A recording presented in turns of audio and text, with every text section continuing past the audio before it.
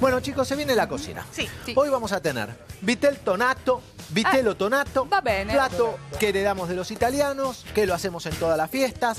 Eh, se puede hacer con carne de vaca, con lengua, ¿sí? O con carne de cerdo, la carne que ustedes quieran, no hay ningún problema. Aparte del vitel toné, que es simplemente es una carne atunada. Vitelo Ah, es claro, ternera claro, sí. atunada. Atunada es porque la salsa es a base de lomitos de atún en su origen. ¿Sí? supe, porque, Por eso mira. es vitelo tonato. es porque la salsa es a base de atún. ¿sí? Esta combinación tradicional y clásica es lo que vamos a hacer hoy. Si me permiten, hay diferentes formas de cocinar. Hoy elegí un pelleto. Esto no quiere decir el vitel toné se hace con pelleto y si no, no se puede hacer. No, cada uno puede elegir diferentes carnes, cortes. ¿sí? Hay quien lo hace con colita de cuadril. eh, diferentes cortes que podés utilizar. El pelleto es lo más tradicional en la Argentina, tal vez para hacer el vitel toné. Eh, para este pelletito, que no es ningún pelletito, este es un pelleto Grande. Flor interesante. ¿De quién era, chino? Chino. de un animal. Tremendo. Gracias, chino. Gracias, gracias, gracias. Eh, vamos a sacarle parte de la grasa. Un poquito de grasita le podemos dejar afuera. Bueno. Se puede limpiar a vivo. Limpiar a vivo era cuando sacábamos qué? La totalidad de la grasa y nada más se ve la carne.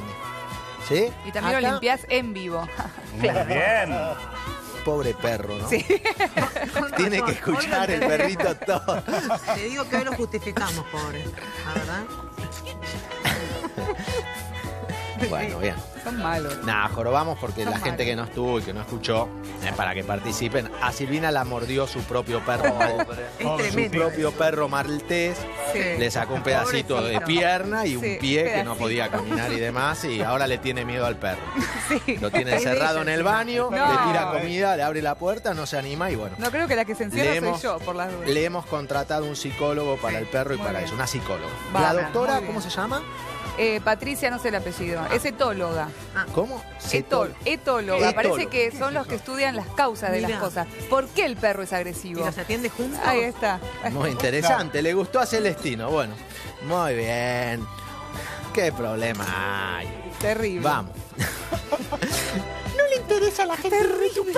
Pobrecito. Feliz año nuevo, Celestino. No. Si a mí mi perro me muerde, eh, estaría enojado con él. Vamos a poner Chicos, pelleto. amor. El pelleto lo pueden cocinar en agua o en un caldo. Caldo,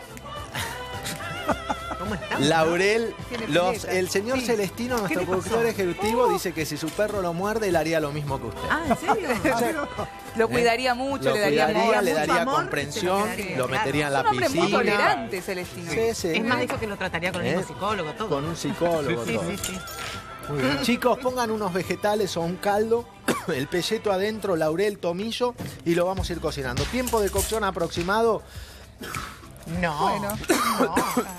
¿Qué pasa con esto? Ay, tenés Toma. todo, Tiempo aproximado. Un poquito de agua. Agua de Rinaldi no le quedó, ¿no? No, no tomes Ah, eso. estamos- ¿Querés? Agua. No, no, el No, agua. la del otro le gustaba. Está la otra. Eh, Espirituosa. tiempo estimado de cocción, hora y media, dos horas para un pelleto dependiendo del tamaño. ¿De acuerdo? Sí, despacito en el líquido se cocina. Otra opción de cocción que a mí me gusta mucho para el vitel ¿Cuál? pueden agarrar el pelleto, poner un, chorrito de aceite de olivo, manteca, sal, pimienta, alguna hierbita, envolverlo en papel aluminio y cocinarlos en el horno. Quedan perfectos, tiempo de cocción, hora y media. Sí, en una hora y media se cocina el pelleto perfecto. Bien. De hora y media a dos. Ahí en ese caso, como el, el papel aluminio no deja salir la propia humedad del pelleto, se ablanda bastante y queda caramelizado, queda rico, rico, rico. Cuando ponen la manteca, el aceite, le ponen sal por afuera también, así queda sabroso. Bien. ¿De acuerdo? Sí. Bien. Vamos a hacer lo siguiente, chino. Sí. Cocinamos el pelleto, mientras que cocinamos el pelleto, podemos agarrar, colocar un poquito de harina, Vamos a hacer el pan que se llama focaccia. La focaccia es un pan típico italiano, que es un pan de aceite muy parecido a la pizza y es el que en Argentina utilizamos para hacer tostadas o muchos sándwiches de focaccia que hoy se pueden comer por diferentes lugares. Yo para hacer este pan agarramos, picamos unas nueces, ¿no? Sí. Sí, Bien. ahí. Picamos unas nueces, harina. La harina tiene que ser la que tiene bastante gluten. Harina fuerte se llaman en, Bueno. pastele- en panadería. Ponemos harina, tomillo, vino blanco, sal. Me falta la levadura. Sal, sí, sí, sí. Sal. Le agregamos agua para que la sal se vaya diluyendo. Ahí. Y le ponemos levadura. Mezclamos la levadura, Espectacular. incorporamos el resto del agua y ahora es como hacer la masa de una pizza. Es muy simple, empezamos a incorporar. Las nueces las pongo ahora, las puedo poner a último momento, cuando la masa la tengo unida. Y perfumo con aceite de oliva también. ¿Sí? Focaccia, aceite de oliva. Dale. Ahí va. Primera parte de la receta. Vamos a integrar todos estos ingredientes. Ahí. Yo voy a unir la mezcla. Ahí va. Vamos a unir la mezcla. Ahí. ¿Ven? Ya tiene el aceite de oliva, vino blanco. Es la receta bastante tradicional. Unen todo. Muy bien. Muy bien. Algo muy importante, vieron que yo tengo para evitar accidentes tontos pero que ocurren. ¿Vieron a mi derecha que hay puestos en la mesada? Cuchillo. ¿Qué hay? Ah. Cuchillos. Sí. Sí. Jamás, esto te lo digo porque cuando estás amasando a veces haces eh, movimientos no previstos porque se escapaba el agua y demás. Claro. Sí. Primero evitarlos tener sobre la mesada. Así, jamás. Y después sí o sí, si los podés, si los tenés sobre la mesada porque estás cortando, no tenés otro lugar para colocarlos y demás, jamás el filo hacia adentro, jamás. Esto es típico que si lo tengo ahí voy a cambiar, voy a tac, me voy a clavar el cuchillo, me voy a hacer un corte y puede ser grande. Se ven un montón de accidentes de estos que uno dice son tontos. Bueno, son estos son los que se pueden prevenir.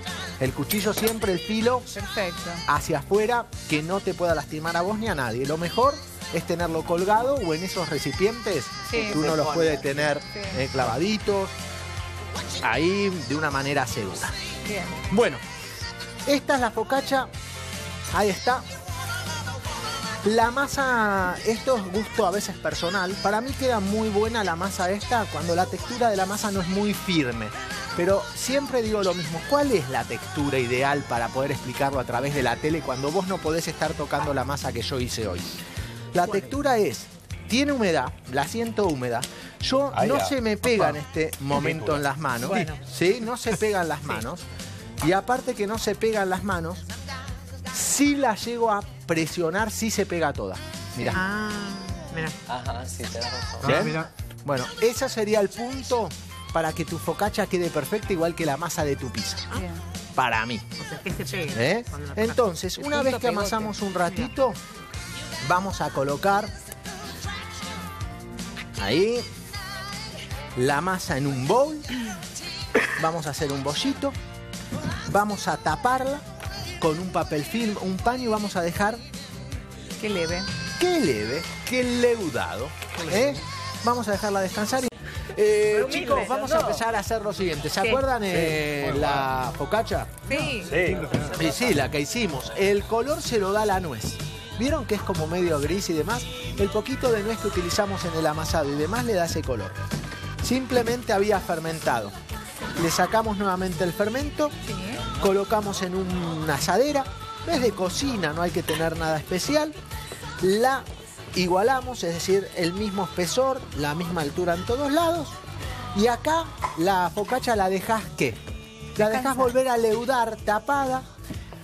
Le vamos a poner hoy, si quieren, ¿vieron romero? Sí. ¿Eh? Chiquito. Unos pedacitos, sí, unas ramitas de romero, chiquito romero exactamente. Claro. Ahí. Sergio. Les ponemos Eh, el romero. Romero, Romerito. Ahí. Y siempre se le pone sal gruesa. La focaccia tiene esa característica que tiene sal gruesa. ¿De acuerdo? ¿Sí? Le pones pedacitos de romero. Cuando está leudada, de esta manera, va al horno, tiempo de cocción chino, 180, 20 minutos. 180 grados, 20 minutos. ¿Sí? Ah, Esta, este va a ser el vitel toné. Ahora vamos a hacer la salsa. Miren, para la mesa puede ser vitel toné y las focachas. ¿Vieron el pan, la focacha que hicimos Sí. recién? Sí. La focacha. Eh, la focacha, básicamente a los 20 minutos queda así. Esta es la misma focacha que yo hice. En el fondo le había puesto un papel, Papel. manteca. Increíble. Ahí. Perfecto. Papel manteca. La focacha, vamos a cortar. Una idea es, si vos tenés mucha gente o son demasiados, las pueden hacer al horno. Pero es un pan muy tierno, ves la amiga y demás, que la idea, la idea es, se puede cocinar directamente sobre una sartén, de un lado y del otro. ¿Sí? Y la idea que les quería dar hoy es la siguiente para hacer con este pan. Este Sí. pan de nuez focacha queda muy rico. La idea va a ser directamente, agarramos, vamos a armar las focachas de pera. sí, chino, está perdido. Como chino la Me neblina. mira y- Tremendo hoy. Como chino la neblina. ¿Pero qué pasó? Vamos directamente. Que vuelva Chávez urgente. Ahí está. Chino. Vamos a agarrar, lo que vamos a hacer es lo siguiente, un bowl, vamos a colocar, vamos a colocar quesito roquefort Sí. o Sí. azul, ¿sí? Eh, para hacer las tostadas, las focachas para presentar una mesa muy muy ricas para esta Navidad. Directamente el queso roquefort le podemos poner un poquito de queso crema o azul. Queso roquefort sería el queso original francés. Claro. ¿Sí? Entonces a todos los, los quesos genéricamente se le dicen azul. ¿Sí? Son los quesos que tienen los hongos que se ven. Y ahí entonces uno no está definiendo el origen del queso. Si digo Roquefort es de una región de Francia. Este queso normalmente lo probamos, nos fijamos como le pusimos queso crema, si le hace eh, falta un poquito de sal, si le hace falta sal se la agregás. La sal que utilizamos para todo acá en Qué Mañana es sal Tresal. Tus recetas son más ricas y divertidas. Entra a la fanpage de Tresal y descubrí novedades, juegos y tips para compartir en familia. Sal Tresal, la sal que usamos en Qué Mañana. Tres sal. La sal siempre corrediza. Bien. Algo que le pueden poner es un toquecito de brandy o cognac, le queda muy bien al queso azul. Muy bien. ¿Sí? Entonces es simple. Ya está la mezcla. La mezcla, si quieren, pueden ponerla en una manga o decorar con una cuchara. Mm, Mm. queda muy rica. Vamos a agarrar. Vamos a. Está. Vamos a colocar las focachas. Ahí. La mezcla en una manga. Podemos poner unos copitos. Qué bien. Ahí. Si no. Ahí está. Y acá la idea de hoy va a ser. Ponemos un poquitito de rúcula a las focachas. Las focachas son las típicas que podés utilizar con un poquito de tomate, queso mozzarella, jamón crudo. ¿Sí? Son las tostadas típicas o de origen italiano. Hoy le vamos a poner entonces rúcula. ¿Y estos saben qué son? Básicamente son peras. Gajos de peras que cociné, que cociné en un chorrito, en un poquitito de manteca. De un lado y del otro con una pizquita, si quieren, de azúcar. ¿Sí? Entonces colocan las peritas. Es una combinación, la pera y el queso azul. Es una combinación tradicional, clásica, Con rúcula. que es muy aceptada. ¿Sí? A la gente le gusta. Ahí están. Y una vez que está esto, te cuento cómo se termina. Las pones en una bandeja, las vas armando de último momento, las colocamos ahí, ¿sí? Y una vez que las tenés listas, entonces directamente las terminás con un toque magistral que los gourmets solo saben hacer. Bueno, miren, muy bien. Focacha al plato. Unos brotecitos y glacé. Ahí está. ¿Ven? Una linda, rica focacha para compartir. Ariel Rodríguez Palacio.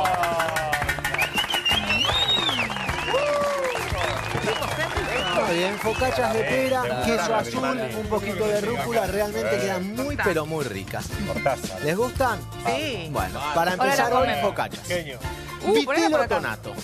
Señores, ustedes cocinan el vitel toné. Una de las cositas que podemos hacer una vez que el pelleto está listo, lo dejan, lo enfrían. Yo lo saco caliente del caldo donde lo cociné y lo envuelvo en papel film y lo guardo en la heladera. ¿Sí? Entonces no pierde humedad, no se seca. Si lo hiciste al horno, con el qué? Con él. Con el papel aluminio lo mismo, lo sacás, lo tratás de enfriar cuanto antes, lo envolvés en papel film así no mancha, porque por ahí hay grasita que salió, jugos, lo envolvés en papel film y lo dejas así envuelto, así no pierde nada de humedad. La idea es que el pelleto, si ustedes llegan a poder tener una máquina de cortar fiambre, que hay manuales o por ahí el almacenero es amigo tuyo, te da una mano, se puede cortar hasta como si fuera un fiambre el Claro. pelleto cocido. La idea va a ser hacer una buena salsa. De eso depende todo. A mí me gusta cortado bien finito, pero cada uno lo que quiera. Lo que hacemos es así. Miren, la base va a ser la siguiente. Lleva yema de huevo la salsa. Coloco las yemas de huevo duras. Voy a guardar un poquito, mejor. Para la salsa. La voy a procesar. Yema de huevo. Un poquito de mayonesa. Ahí. Vamos a empezar. Lomito de atún. Yo utilizo el que es al natural y sí o sí no pueden faltar las anchoas. No pueden faltar. Si es vitel toné, no es mucha cantidad de anchoa. La anchoa es como un condimento. Que cuando está no lo tenés que sentir, no es como la pizza que te tiene que gustar la anchoa. Pero cuando le falta decís, hoy le falta algo a la salsita del vitel toné. Entonces, vamos a empezar a procesar. Hacemos como una mousse de atún. Está la yema de huevo, el atún, mayonesa. Vamos a colocarle Dime con hambre. un poquitito más de la mayonesa. Ahí va. Bien. Ahora, si vos decís, bueno, ya son muchos los productos, yo la verdad que no puedo poner alcaparras porque son caras, son- son estas las alcaparras. Podrían directamente utilizar pepinillos en vinagre, un poquito de pepinillos picle y está bien. Todos los que puedan ponerles alcaparra le da un sabor bárbaro. Vamos a incorporarle crema de leche. También la crema de leche es un producto para utilizar o no, dependiendo. Hace mucho calor, puedo tenerlo hasta último momento adentro de la heladera, el vitel toné y demás. Si vos no lo podés conservar en la heladera, hacelo con mayonesa industrial exclusivamente. Claro. Es por una cuestión de seguridad alimentaria.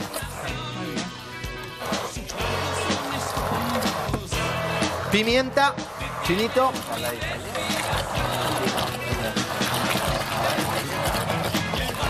Vamos, vamos, vamos, vamos, vamos, vamos. Ahí chino, ahí va, está. dale, dale. Muy bien. ¿Eso? No. Está muy rico. No le voy a poner, ¿qué? ¿Qué? Sal. Ah. Pues ¿Por qué? La anchoa. Los enlatados todos tienen sal. Claro. Todos. El atún. La mayonesa. La. Entonces, ya tiene condimento abundante. Las alcaparras. La mayonesa. Claro. Todos. Entonces, vamos directamente a tener ahí. Vamos a preparar una bandeja.